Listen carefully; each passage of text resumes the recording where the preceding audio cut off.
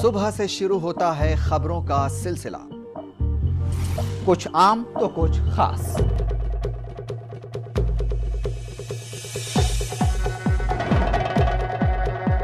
We have nothing to hide in Balochistan. State boards need to improve quality. दिन भर के वाकयात पर तफसीली और बारीक नज़र। वक्त पर डायग्नोसिस करने की ज़रूरत है। 9 पीएम खबरनामा रात 9 बजे।